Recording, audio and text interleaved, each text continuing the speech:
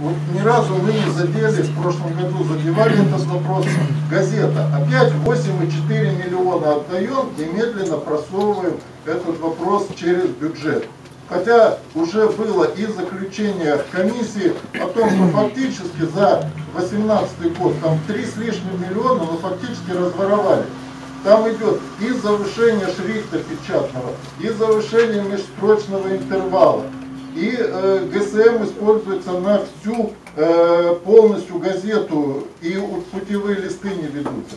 И мы опять на этом фоне отдаем им опять как в топку 8,4 миллиона. Ну давайте, если несколько газет, либо на торги выставлять эти несчастные публикации наши, э, которые все спор идет, что надо, надо. Ну слишком большая сумма, и она неэффективно абсолютно там рассматривается. Хорошо, кто готов ответить? Или мы перенесем на второе чтение? Я думаю, что мы этот вопрос обсуждаем ну, буквально вот каждый год, да. И каждый год его проталкиваем. А как вы, а как вы вообще планируете публиковать нормативные документы? Давайте торги вынесем. Значит, устав сначала поменяйте, потом будем говорить про Ну, торги. давайте Ярослав тут проблема-то не в том, что э, как Много. публиковать.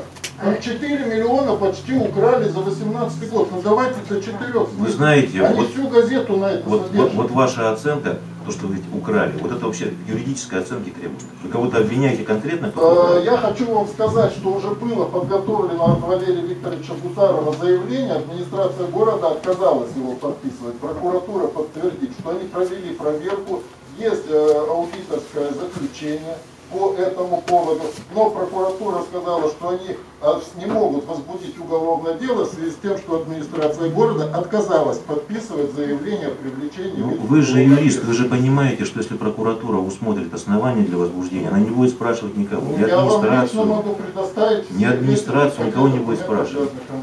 Ирина Владимировна, может быть, мы тоже Это этот вопрос с отчет, да, отдельно с отчетом, как исправлены вот эти вот замечания, Давайте которые были в два вопроса мы прошлом году. вынесем на отдельную комиссию.